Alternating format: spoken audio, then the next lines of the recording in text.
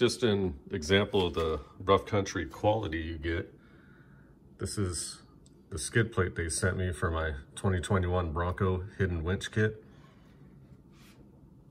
I mean, granted, they're cheap. Showed up 309 delivered plus tax. Anyways, I complained about this. This is fucking, this is bullshit. How can you, how could you really, in your right mind, send that to someone? I mean, I complain, but they're like, oh, the Fairlead will cover that. No. Fairlead didn't cover that shit. You want that on your new fucking rig? No. So anyways, they sent me this one, which ain't, I mean, it's better. Missing paint. Look at all the weld BBs. Everywhere. Everywhere. It's like, you guys, for fucking, for fuck's sake. It's like, granted, $300 delivered. If you don't know shit and you just want to put a winch on your Bronco without messing with the front camera or messing up with the position sensors or the bumper, then yeah, this is great. But it's like, shit like this. This would never, ever, you know, leave our shop. Ever.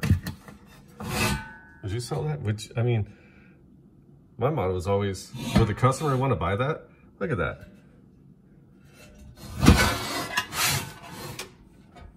Look at the back side. I don't know if this is, if they're welding with a robot, but there's this spot where, are they starting and stopping here? It blew that out, which is on this one. Flip it over, blew the shit out. I don't know if they tried to come back and fix it. That those are the nuts. You know, it's like, really? Really? You guys fucking... Anyways. They're, they're replacing it, no questions asked, but just for you people that don't really know better, maybe go fucking somewhere else to buy this shit, because it looks like they welded it here. Over here, eh, no weld.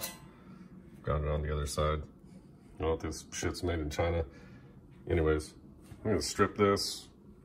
This one's going back. Oh, that's the thing. I just asked him for a skid plate. They send me this whole other fucking kit. So you guys can't just send me a skid plate, so you guys just chop out fucking, yeah, right there. Part number. Okay. Now, if you're buying this, and you know shit about fabrication or what you're gonna put on your rig, you just want a winch, then buy it.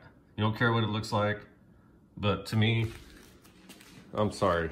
It's like, for the one main fucking thing, you guys would be able to be like, okay, that, well, that doesn't look right. Does that, do you want that on your fucking rig? I don't.